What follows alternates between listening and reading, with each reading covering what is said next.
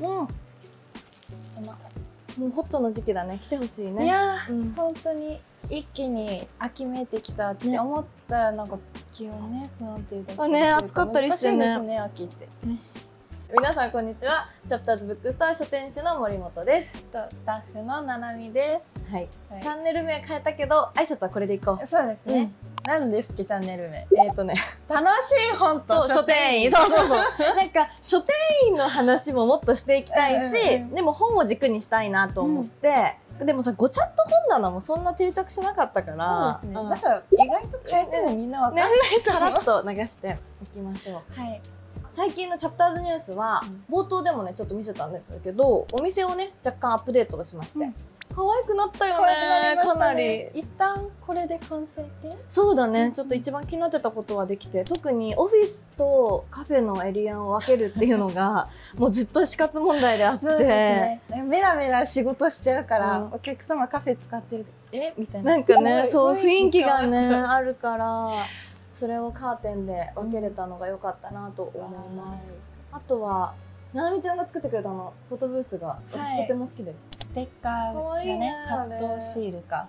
あれ。ね。めちゃくちゃ難しかったね。入稿 この細い線だと入稿できなくてでも太くしすぎると雰囲気が悪いっていうね。ちょっとダサいなみたいになっちゃうからもう何回もやり取りをして ダメです。ダメですって言われて、何回目入稿で？10回くらい。あ本当？もうじゃあちょっと葛藤の末できたシールも見に来てください。あプロって本当にすごいなって思いました、そうだよねそうだテーブルがね、いいんですよね。高さをねちょっと高くして大きくしたから。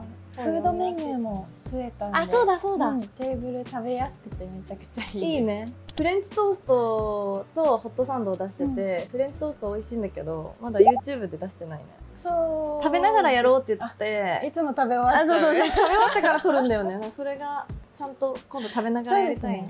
はい、で今日の動画のテーマはもうこれ5万人見てんのよ。ご見てるわ嘘か。5万人登録？あやばいですね。増えてきちゃった。そんな中で本じゃないコメントをねしかも嬉しいのをちょこちょこ見かけてて。見た？見てる？見ました。あ本当？ちょこちょこっと見て、ななみさんはい。か美しさに磨きがかかってますね。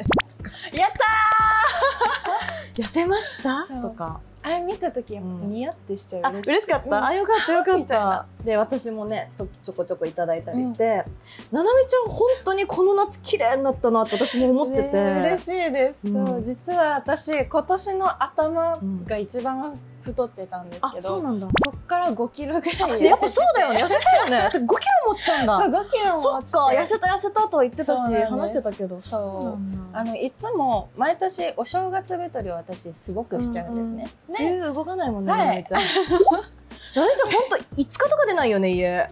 絶対冬寒いの本当に無理なんで、あの出ないけど食べるのうんうんですごく太っちゃうんです、うんそれをいつもはこう1年かけてじりじり減らしていって、うんうん。またお正月太ってっていうので、結構変化がない感じなんですけど、うん今年は太りつつも、うん。がっつりお正月のタイミングで体調崩しちゃって、あそうなんだ。でガタンってあのお正月太りなくなったんですね。そっかそっか。でそのタイミングでうん。私は、えこのまま痩せたらよくない、うんっていうこう考えになってそのままダイエットに移行したっていう待ってこの年始から始まってたの？そのプロジェクト。そうです。知らなかった。そういつもはこうお正月太りを解消するしかしてなかったんですけど、ちょっと痩せてみたっていう。なるほどね。そそれは健康的ね。そうですそうです。なのでコメントもいただいてたので今日はなんか私たちのちょっと美容の話とあと美容モチベが上がるうん。本を最後紹介して、この楽しい本と書店員、ね、チャンネル名っぽい動画。楽しい本と書店員ちょっとやっていきたいなと思います。はい。じゃあななみちゃんのダイエットの話からなんかした？えいろいろしました。でも私見てる限り超食べてるよ。何も変わってなかったよ。ねうん。そう私は食べるのがすっごい好きだから、でも運動は嫌いだから、運動はしたくない、うんでも食べたい、うん。どうしようかなって思って、食事を結構変えて、あそれ違うんだ。そう全然違うなっていうのが、うん。なんかこうどう変えたかっていうと、朝ごはんを毎日ちゃんと食べるっていうあふうに脳がいいの、うん。私もうだいぶ食べてない。いいんだ。なんで、うん。あのもうま最近生活リズムもぐちゃぐちゃで、うんうん。もうなんか何時にごめんね。起きてる、ブラック企業でブラック企業だ。ブラック企業だけれどね。否めないけど。まあ楽しくやろそういうことじゃなくてまあでもまあなんだろう。結構リズムごたごたみたいなしてて、でこう朝ごはん前は食べてたのにし最近食べれなくなったなと思って、そっちの前食べてた方が調子良かった気がするって思ってうん。最近食べるようにしたんあです、そうなんだ。そう。で考えるのもちょっと大変なんで、うんうんうん毎朝納豆ご飯を食べるってあ決めて、結構ちゃんと食べるんだね。しっかり食べたら、うん。お昼なんかコンビニおにぎりとか、そんなにおいし美味しくないから、嬉しくて食べてるもんじゃないからね。なんか美味しくないものをおうん腹空いたっていうだけで食べることがなくなった、はあいいね。とあと夜ご飯はちょっとお腹が空いてくるから、好きなもの食べようっていうモチベになる。あもうそれだけ？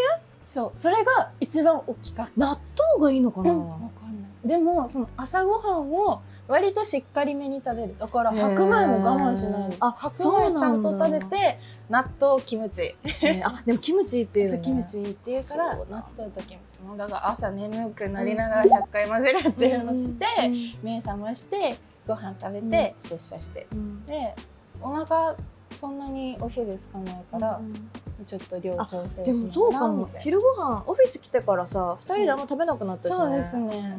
私も元からそんな食べない、あんまり食べないですよね。うん、そうだったか。私はめちゃくちゃ食べるうん。けどそれをじゃあお昼変なもの食べるとか、うんうん。夜お腹空いただけで食べるっていうのをやめて、うん。朝はしっかり食べて、うん。じゃあ夜ご飯を楽しみにまたなんか頑張るみたいな感じに変えた。じゃあ萌えなさん飲みに誘われたうぜえみたいなのなかった？あ全然ないです。そう。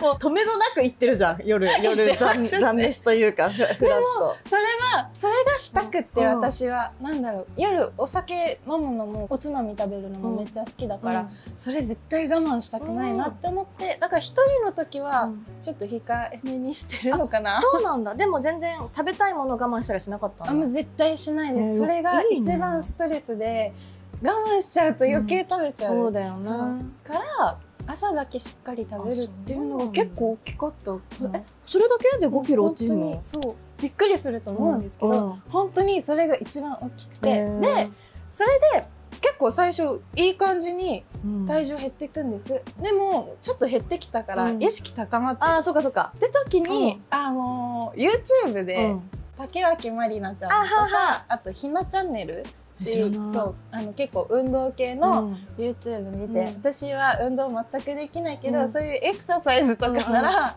できるかなって思って、うん。それを毎日するのはもう大変で続かないから、思った時にやる、週2回ぐらいやれたらいいなぐらいのペースでちょこちょこやってっていう。あそうなんだ。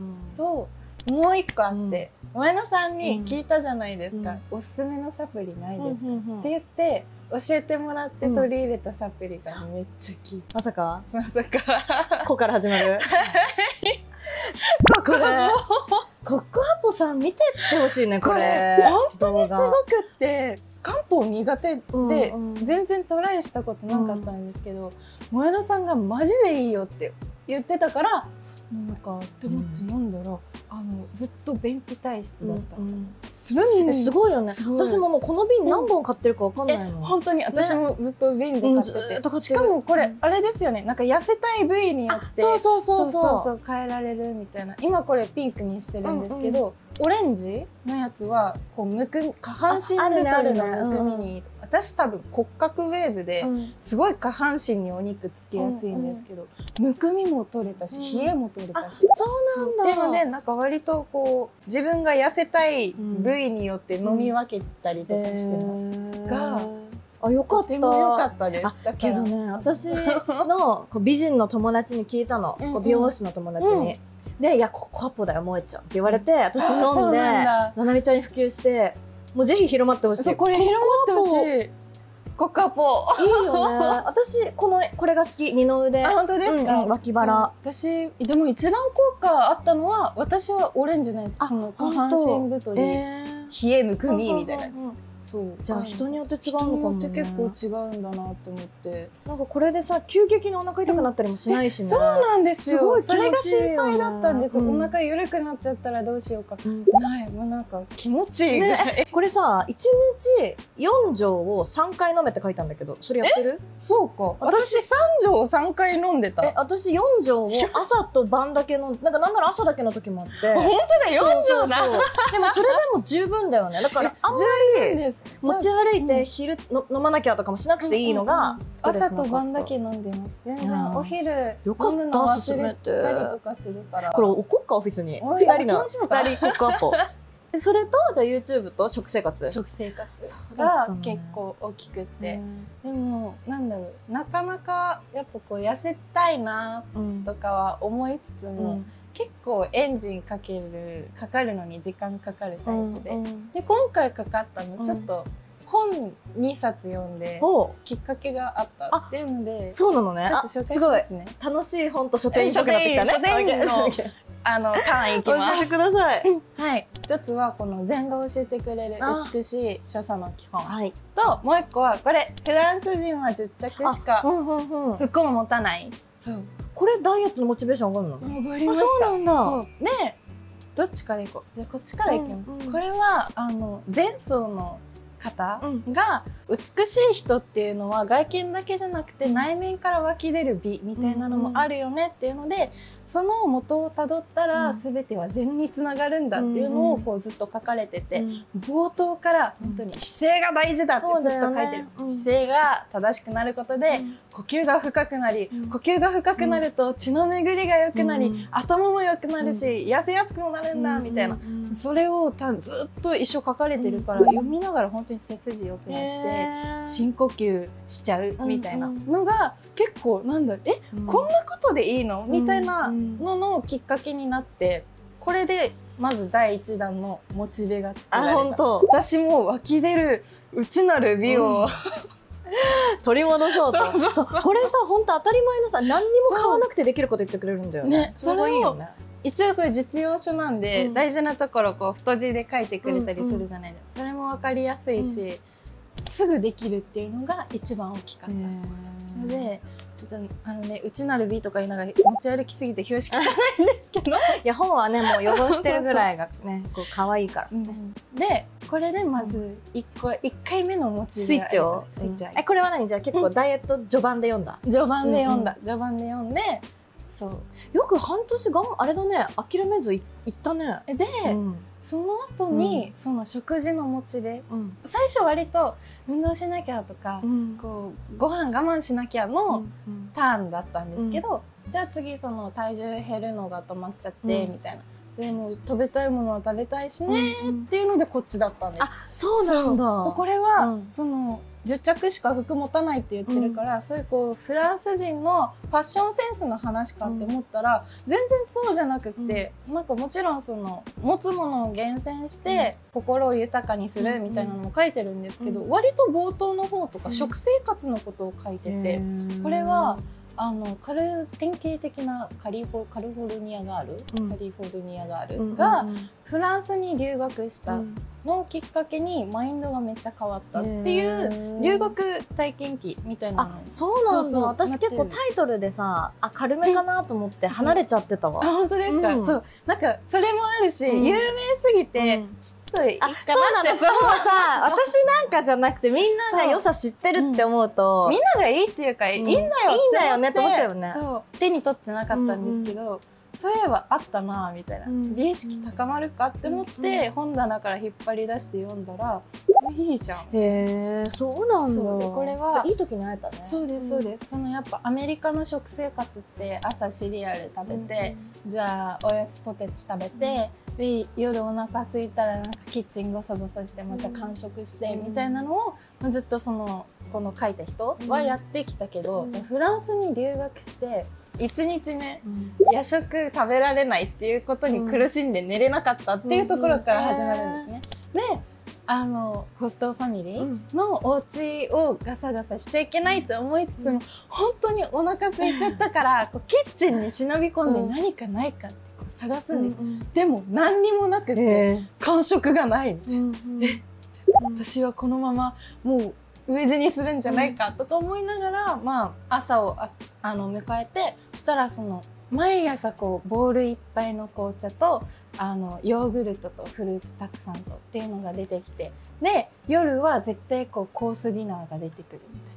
それすごいいいお家に留すご学したね。くいいお家に留学して、なんだ。そう。でお腹が空いたから食べるっていうのじゃなくって食事を本当にこう楽しむ。うん。絶対家族でとるしじゃあその食事中の会話もアメリカと違うっていうのが書いてあって、アメリカだとこうなんか美味しいものとか見た時に「えこれカロリー何キロだろう?」みたいな「うん明日ジムに行かなきゃ」みたいな話するけどフランス人はなんかこのソースのこう香りがいいよねとかこのフルーツ今が旬だからとっても美味しいんだよみたいな。今日はこの料理法にすごいこだわったの。うん。本当に料理だけに向かって会話をするみたいなのがフランスとアメリカの結構大きい違いだったみたいで。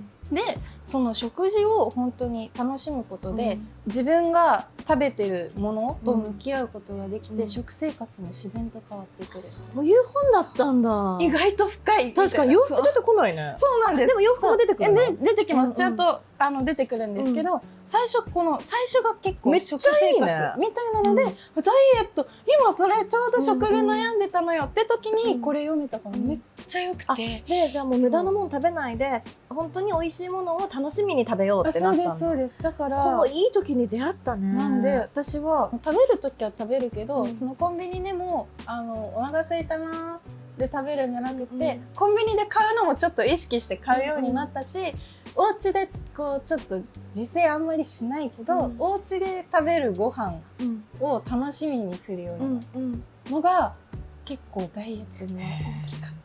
よかったね。じゃあこの本あえて。そう超良かったんです、本当にタイミングでしかないんですけどこれはあのやっぱフランス人すごいです、うんうん。本当に美意識違うなっていうのと、うん。やっぱりこうフランス人太ってる人がいないって書いてあって、うん。みんなモデル体型ってわけではないけど、じゃあガリガリでもちょっとふっくらしていても、みんなこうなんだろうその体型を愛してるっていうのを書いてて、うん私も別にガリガリに痩せたいわけじゃないけど、うん。自分が好きな体型でいたいなって思ったから、それ目指してちょっと頑張ろうっていう本までしたし、ねこう総じてとてもいい本でした。なんかすごい。ななみちゃん痩せたけど綺麗になったなって思っててい。いマインドで行ったんだね、うんそうなんですそうなんです。なあんで初めてうん。